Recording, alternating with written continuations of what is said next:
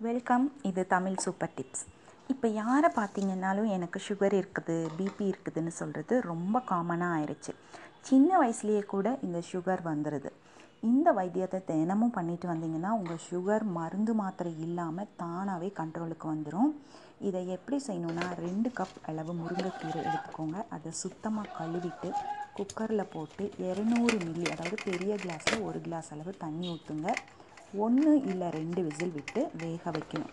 முருங்கைக்கீரையில் இருக்கிற அஸ்கார்பிக் அமிலம் உங்கள் கணையத்தில் இருக்கிற இன்சுலின் சுரபியை இன்டியூஸ் பண்ணி உங்கள் உடல் சர்க்கரையை கண்ட்ரோல் பண்ணுறதுக்கு தேவையான அளவு இன்சுலினை சுரக்க வைக்கும்.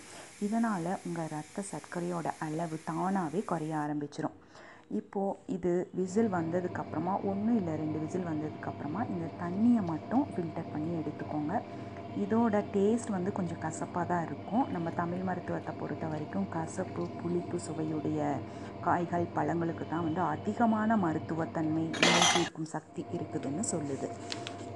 இதோட இப்போ இந்த தண்ணியோட அரை ஸ்பூன் அளவு சீரக பொடி போட்டு கலந்துட்டு நீங்கள் வெறும் வயிற்றில் டெய்லியும் குடிக்கணும்.